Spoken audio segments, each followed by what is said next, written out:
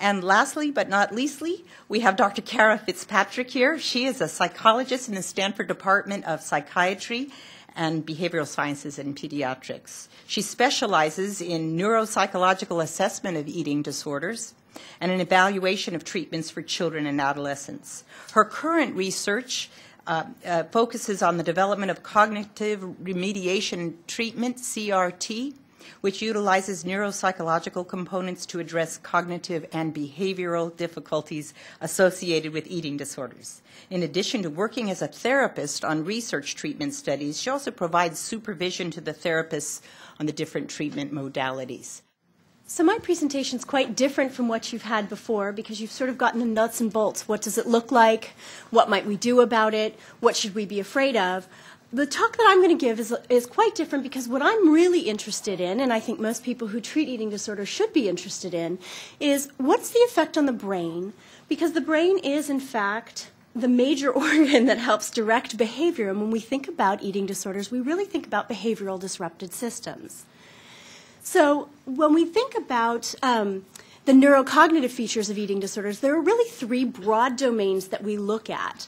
And these are what we call neurocognitive inefficiencies. So let me be very clear here people with eating disorders generally have very good cognitive processing.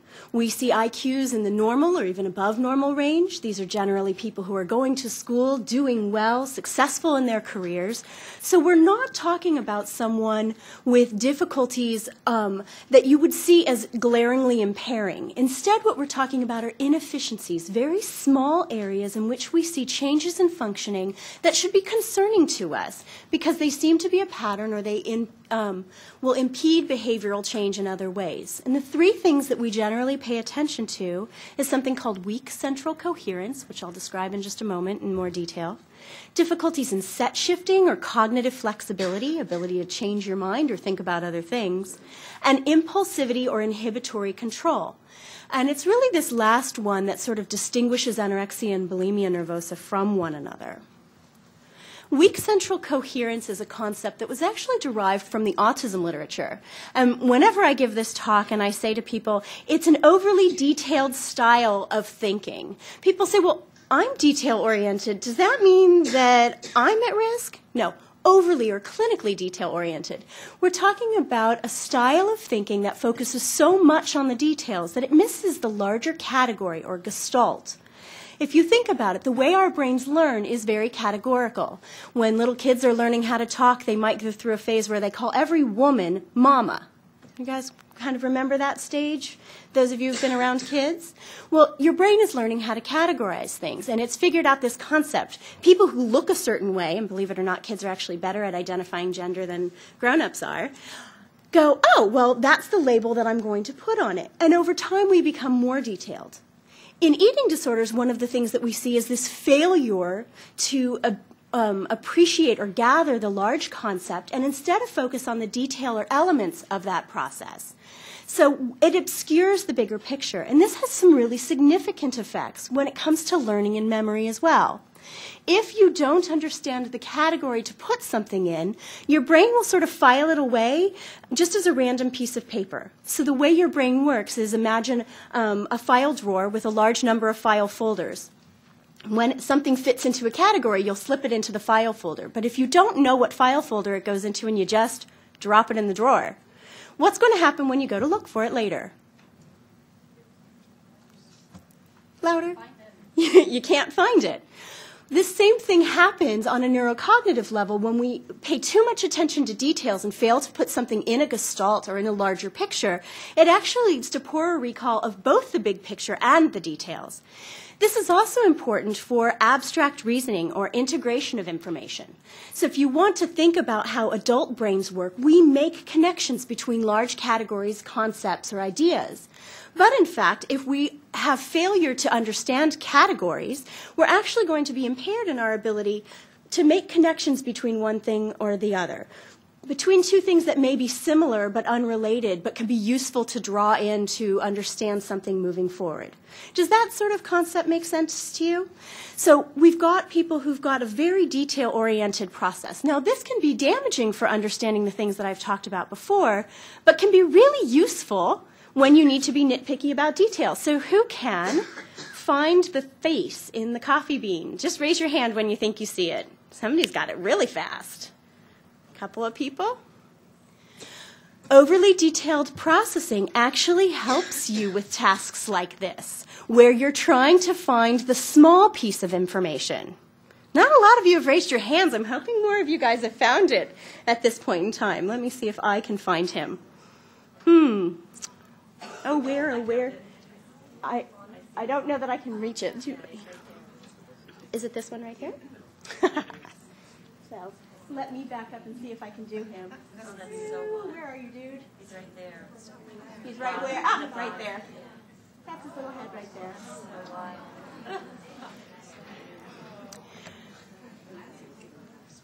This is fun, isn't it? This is actually what I do for a living. I get to do things like this for work. So, in addition to central coherence, we also talk about set shifting. Set shifting is a core skill that we develop in adolescence and adulthood. And it's really thinking flexibly, being able to move fluidly between thoughts, ideas, and concepts. And it's really strongly related to problem solving. If you can't think of anything but what you're thinking about, you're going to have a hard time solving your problem. If you think that the only solution is the same solution you've tried before, you're going to have a hard time solving your problem. But this is also related to aspects of future planning and managing ambiguity. Because ambiguity, by definition, which most adolescents' lives are somewhat ambiguous, if you don't remember, you probably are happy you don't remember. Because you don't know what job you're going to have, what college you're going to get into, where you're going to live, what you're going to do, or who's going to do your laundry. The other thing that's really important is recognizing that set shifting is actually critical to our daily functioning and skills in life. Behavioral or cognitive rigidity, that black and white thinking that people sometimes have, is actually difficulty in set shifting. The other thing that difficulties in set shifting can lead to are perfectionistic or perseverative behaviors. And by perseverative behaviors, what I mean are sort of behavioral sets, habits, or ideas that get played out in a repeated pattern that's very similar. So this can be, I call it the sit and spin, where you're sitting in one place and you're working really hard, and all you're doing is spinning around in a circle, having the same thought again and again. But probably most importantly, Set shifting is really a core feature of social situations.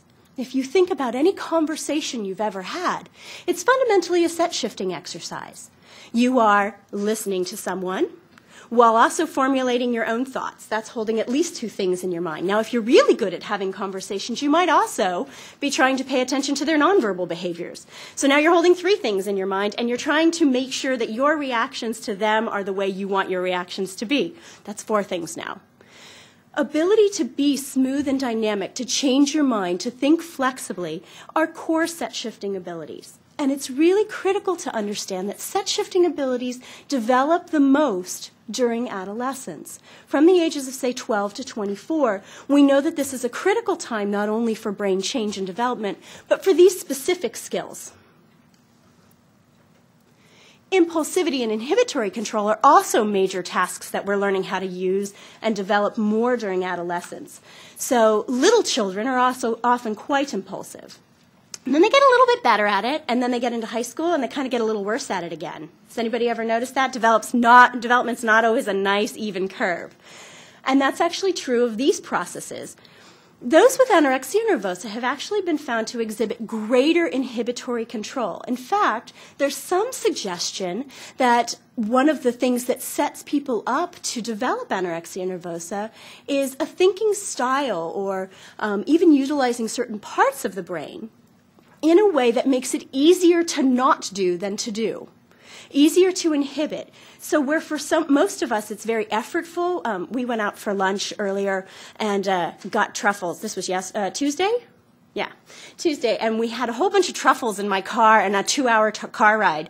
Um, there was a lot of effortful control going on in the car to prevent us from eating those truffles on the way home.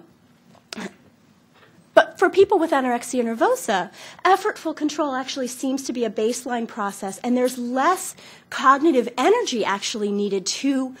I hate to use the word restrict because I mean this in a behavioral and not a food way, but it's easier to not do based on the way the brain is set up.